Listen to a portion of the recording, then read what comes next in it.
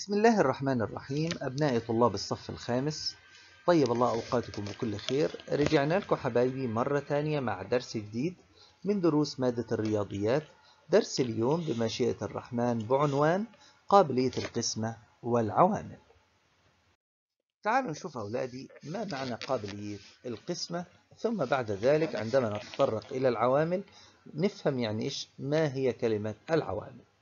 قابلية القسمة قابلية القسمة أولادي يعني لو أنت قسمت عدد على عدد يكون الناتج القسمة ليس هناك باقي.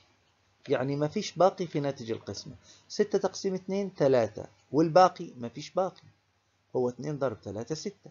طيب 12 تقسيم خمسة يساوي اثنين والباقي اثنين. آه يبقى لا يقبل القسمة اذا ال 12 لا تقبل القسمة على خمسة. ليه؟ لأنه في باقي. أما لو كان الباقي صفر يعني لا يوجد باقي. إذا أولادي مباشرة إحنا بنقول بأنه هذا العدد يقبل القسمة على العدد الآخر. إذا تعلمنا أن عددا ما يقبل القسمة على عدد آخر إذا لم يكن هناك باقي لعملية القسمة. طيب الأعداد أولادي إحنا أخذنا قبل كده في المراحل السابقة وفي الدروس السابقة بأنه في أعداد مباشرة نقدر نحكم عليها إذا كانت هذه الأعداد تقبل القسمة أم لا؟ يعني ليس هناك باقي أم لا؟ زي إيه أولادي؟ إحنا أخذنا في الدروس السابقة أو في المراحل السابقة بأنه أي عدد زوجي ما معنى عدد زوجي؟ يعني أي عدد يبدأ من جهة اليمين بصفر أو اثنين أو أربعة أو ستة أو ثمانية؟ أي عدد يبدأ بأي رقم من الأرقام الخمسة هدول بنسميه عدد زوجي. العدد الزوجي أولادي يقبل القسمة على الاثنين بدون باقي. أي عدد زوجي. إذا أي عدد زوجي أولادي يقبل القسمة على اثنين بدون باقي. يبقى إذا أنا بصيت للعدد ووجدت أنه العدد هذا زوجي على طول مباشرة أحكم عليه أنه يقبل القسمة على اثنين. وإحنا اتفقنا بأنه العدد الزوجي هو عدد بدايته الصفر أو ممكن تكون بدايته الاثنين أو ممكن تكون بدايته الأربعة أو ممكن تبقى بدايته الستة أو بدايته الثمانية. طيب بالنسبة للخمسة الخمسة بتقول لك أنا أي عدد يقبل القسمة علي ليه ميزة بتميزه. إيه هي الميزة اللي بتميزه؟ بأنه العدد في أوله إما صفر وإما خمسة. يعني مثلا أي عدد بدايته صفر يقبل القسمة على اثنين ويقبل القسمة على الخمسة. أي عدد بدايته 2 يقبل القسمة على 2 فقط لأنه زوجي. أي عدد بدايته 4 يقبل القسمة فقط على 2 لأنه زوجي. أي عدد بدايته 6 يقبل القسمة على 2 فقط لأنه زوجي. تمام؟ أنا بتكلم فقط يعني أقصد بها ما المقارنة ما بين الاثنين والخمسة. مش أي عدد آخر. يعني أنا كلامي كله الآن على العدد 2 والعدد 5 فلما أقول كلمة فقط تمام؟ يعني مش معناها يقبل على اثنين ولا يقبل على عدد آخر لا أنا بتكلم إنه يقبل على الاثنين فقط ولا يقبل على الخمسة تمام؟ لأن أنا كلامي كله الآن مقارنة ما بين الاثنين وما بين الخمسة. طيب اللي بدايته ستة يقبل فقط على الاثنين ولا يقبل على الخمسة. طيب اللي بدايته ثمانية يقبل فقط على الاثنين ولا يقبل على الخمسة. إذا فقط اللي يقبل على الاثنين ويقبل على الخمسة هو اللي بدايته صفر. طيب. الخمسة هل في عدد له بداية أخرى غير الصفر يقبل القسمة على خمسة؟ آه غير الصفر في الخمسة. لو كان العدد بدايته خمسة غير الصفر يعني بدايته صفر يقبل على الخمسة. ولو كان بدايته خمسة أيضا يقبل القسمة على خمسة. إذا أولادي في حاجة مشتركة ما بين الاثنين والخمسة؟ آه إذا كان العدد بدايته صفر إذا يقبل القسمة على اثنين وخمسة معا. يقبل القسمة على اثنين وخمسة معا. وبالتالي أولادي إذا كان العدد يقبل على الاثنين والخمسة معا فإنه يقبل القسمة على حاصل ضربهم. يعني يقبل القسمة على عشرة. إذا كمان مرة. ما هي الأعداد التي تقبل القسمة على اثنين؟ هي الأعداد الزوجية. ما هي الأعداد التي تقبل القسمة على خمسة؟ هي الأعداد التي تبدأ بصفر أو بخمسة. طب ما هو العدد الذي يقبل القسمة على 2 و5 معا إذا كان بدايته صفر؟ يقبل القسمة على 2 لأنه زوجي ويقبل القسمة على 5 لأنه بدايته صفر. إذا يقبل القسمة على 2 و5 معا إذا يقبل القسمة على حاصل ضربهم يعني يقبل القسمة على عشرة. إذا لو أنا قلت لك هل العدد هذا يقبل القسمة على عشرة؟ لابد أن يكون بدايته صفر عشان يقبل القسمة على عشرة. يعني يقبل القسمة على اثنين لأنه زوجي ويقبل القسمة على خمسة لأن بدايته صفر. تمام كده حبايبي؟ إذا يقبل القسمة العدد القسمة على عشرة إذا كان آحاده يعني بدايته صفرا. تمام كده حبايبي؟ طب تعالوا نشوف اللي بعديها. بيسألني سؤال. تعالوا ندرس قابلية القسمة على ثلاثة. هل العدد 135 يقبل القسمة على ثلاثة؟ هات ال 135 واعملها أرقام خمسة ثلاثة واحد. اجمع الأرقام الثلاثة هدول. خمسة زائد ثلاثة زائد واحد. يطلع الناتج تسعة. وبالتالي أولادي هل التسعة تقبل القسمة على ثلاثة؟ آه تقبل القسمة على ثلاثة. إذا أولادي طالما التسعة تقبل القسمة على ثلاثة إذا 135 نفسها تقبل القسمة على ثلاثة. إذا أنا دلوقتي باخد العدد. أجمع أرقامه. لما أجمع أرقامه بيطلع ناتج. الناتج هذا يقبل القسمة على ثلاثة ولا لا؟ إذا كان بيقبل القسمة على ثلاثة يعني من مضاعفات الثلاثة إذا أولادي مباشرة أقدر أحكم عليه إنه هذا العدد نفسه يقبل القسمة على ثلاثة تعالوا نشوف أولادي مثال آخر هل 403 تقبل القسمة على ثلاثة؟ 403 ثلاثة وصفر وأربعة اجمعهم مع بعض الثلاثة زائد الصفر زائد الأربعة يطلع سبعة هل السبعة من مضاعفات الثلاثة؟ هل السبعة تقبل القسمة على ثلاثة؟ طبعا لا إذا أولادي مباشرة أستطيع الحكم على 403 أنها لا تقبل القسمة على ثلاثة ما معنى لا تقبل؟ يعني لابد أن يكون هناك باقي في عملية القسم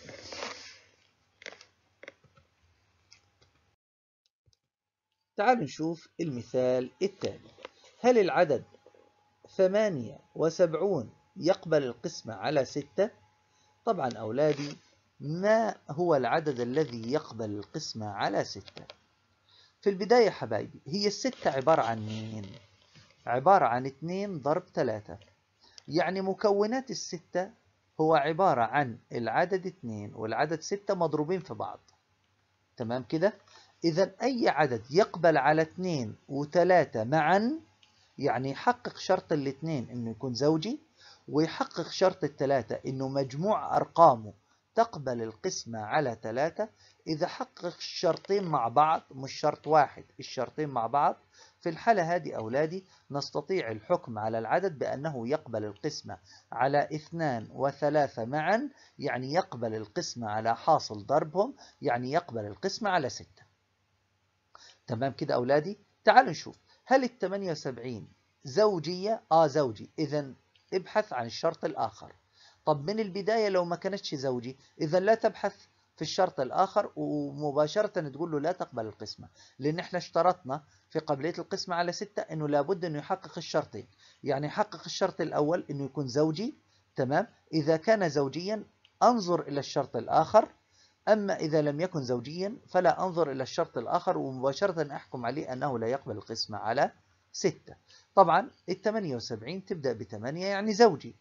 طيب هل العدد هذا لو جمعت أرقامه تقبل القسمة على 3 8 زائد 7 يطلع 15 هل ال 15 من مضاعفات الثلاثة أو تقبل القسمة على 3 أجد أنه ال 15 تقبل القسمة على 3 وبالتالي أولادي إذا يقبل القسمة ال 78 تقبل القسمة على 2 كونها عدد زوجي وتقبل القسمة على 3 كون أنه مجموع أرقامها يقبل القسمة على 3 وبالتالي أولادي طالما أنه حقق الشرطين يقبل القسمة على 2 و3 معا إذا يقبل القسمة على حاصل ضربهم وهو الستة وبالتالي العدد هذا يقبل القسمة على 6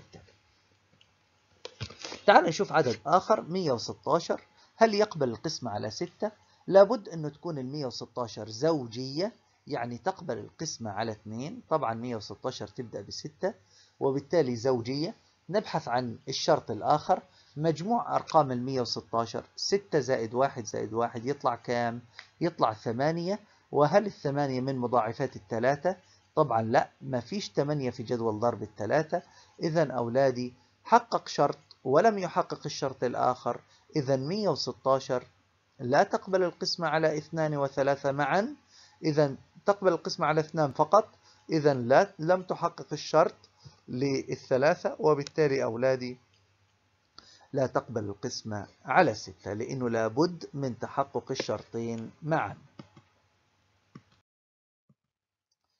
نيجي للعامل. ما هو العامل؟ بيقول لي العامل هو عدد يقبل قسمة عدد آخر عليه بدون باقي يعني مثلا الخمستاشر تقبل القسمة على واحد؟ آه تقبل القسمة على واحد إذا الواحد عامل من عوامل الخمستاشر هل ال 15 تقبل القسمة على 3؟ آه إذا الثلاثة عامل من عوامل ال 15 هل ال 15 تقبل القسمة على 5؟ أيوة إذا الخمسة عامل من عوامل ال 15 هل ال 15 تقبل القسمة على نفسها؟ أقول لك آه ال 15 تقبل القسمة على 15 إذا ال 15 عامل لنفسه.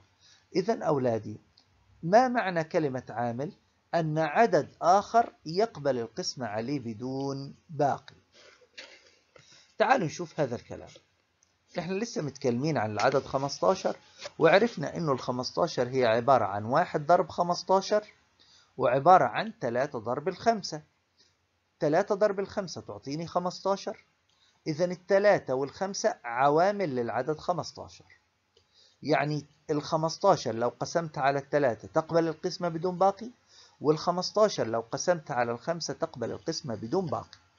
طيب أيضا في عندي واحد ضرب ال 15 يساوي 15 يعني لو قسمت ال 15 على الواحد يطلع الناتج بدون باقي إذا الواحد عامل لل 15 وال 15 لو قسمت على نفسها يطلع الناتج بدون باقي وبالتالي ال 15 عامل لنفسها إذا الواحد وال 15 عوامل للعدد 15 تمام كده حبايبي؟ طيب بيسألني هنا سؤال. هل العدد 6 من عوامل العدد 528 يعني هل ال 528 تقبل القسمة على 6 طبعا قابلية القسمة على 6 لسه متكلمين عنها حالا إنه لابد إنه يتحقق شرطين. أن يكون العدد زوجيا الأمر الثاني أن يكون مجموع أرقام العدد تقبل القسمة على 3 أو من مضاعفات الثلاثة. تعالوا نشوف. 528 بتبدأ بثمانية والثمانية عدد زوجي. إذا 528 عدد زوجي. إذا هذا العدد يقبل القسمة على 2 كونه زوجي وبالتالي أولادي تحقق الشرط الأول نيجي نشوف الشرط الثاني هل 528 لو جمعت الثمانية زائد الاثنين زائد الخمسة يطلع كم المجموع؟ يطلع المجموع عندي 15 هل ال 15 من مضاعفات الثلاثة أو تقبل القسمة على ثلاثة؟ طبعا أكيد إذا ال 528 تقبل القسمة على ثلاثة وتقبل القسمة على اثنين إذا تقبل على اثنين وثلاثة معا إذا أولادي تقبل القسمة على ستة وطالما تقبل القسمة على ستة بدون باقي إذا مباشرة الستة عامل من عوامل 528